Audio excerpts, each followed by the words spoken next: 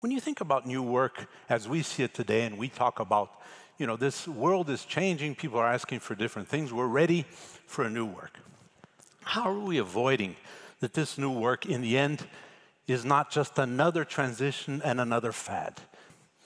And the most dangerous assumption we have today, I think, is this that to be modern, to think like a startup, to be young and so forth, is all about changing our mentality to something that is contemporary. So we say this a new workplace is one where you paint the walls orange, you have a ping pong table, you bring your dog to work, and you have a tattoo on your neck.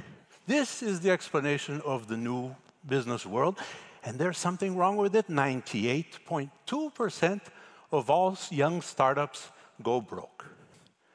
And so, what kind of new workplace is ready for a change which is not cosmetic, which is not for the times, which is not to do with being modern?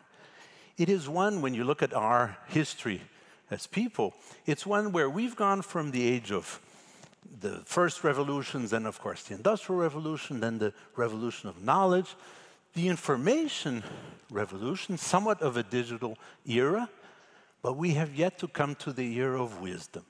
And wisdom is that what we're looking for in the workplace. Wisdom means I need to qualify and certify 67 year olds to come in and work with these kids.